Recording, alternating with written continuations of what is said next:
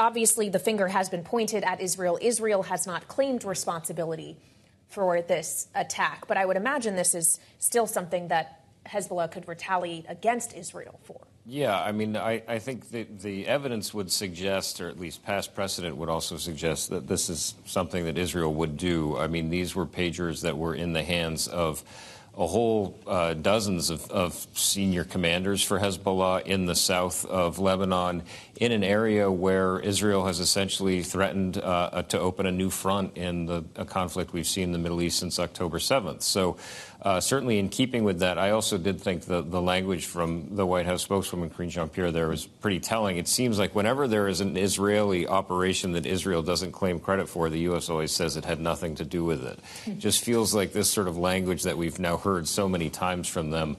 Um, but the big question for me is okay, what next? So, does this mean that this is a precursor operation that was meant to sort of take out a whole swath of Hezbollah commanders in anticipation of an Israeli invasion, or is this just something that's uh, meant to hobble Hezbollah, keep them weak, keep them off balance as Israel continues the war? And does it draw a, a retaliation? We know that Israel uh, essentially told America to step back when it comes right. to military activity on the northern border, telling Amos Hochstein, representing the administration, there is now only a military solution.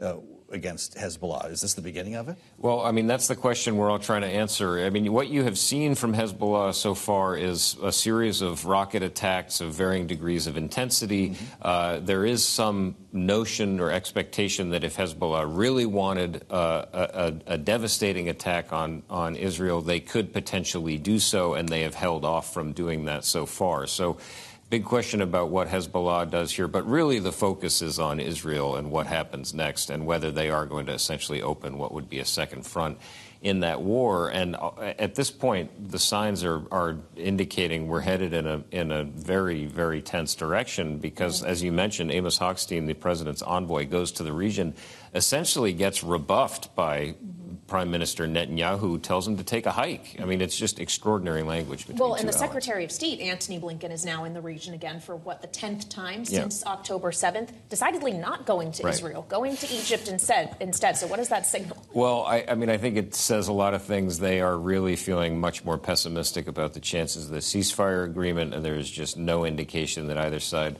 wants it, and you also have an administration that's torn between the imperative of wanting to run through the tape. This is a politically difficult issue at home. They obviously want to get this thing solved for political reasons, but also because of the devastating mm-hmm. impact it's had in the region. But he keeps going to Israel, and, and Blinken keeps getting turned away. The, the words are nicer, the pleasantries are there, but the result is essentially the same. He doesn't want to have that again.